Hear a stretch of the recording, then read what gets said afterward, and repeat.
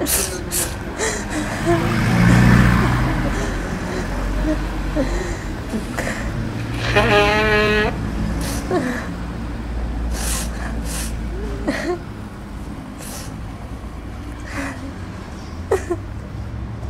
sorry. Are you alright? Not really. A few weeks ago, I was an actress in a brick movie. What? Uh, but why so sad then? It's the fifth time, you know, I'm here to get my head fixed and replaced again. But those stupid head changers in the film company have no time for me. You mean that golego guys there? They said they have a very big project right now and little time for extras like me. Hmm? You mean uh, this is not your original hat and not your original face? No, it's not.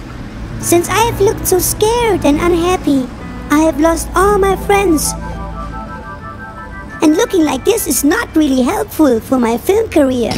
I, for one, I would be super happy if I could lend my hat for a movie. I have lots of talents. Really? Look. Sorry? Can you please tell me if I'm standing in front of the bus schedule? No. Oh, thank you. What do you think? Am I good as an actor? They won't need you. They prefer electric fans. It's not easy to amuse you or to make you smile. Mm. Listen again. With this head, I simply can't. Oops! There it is! Those film people are really crazy.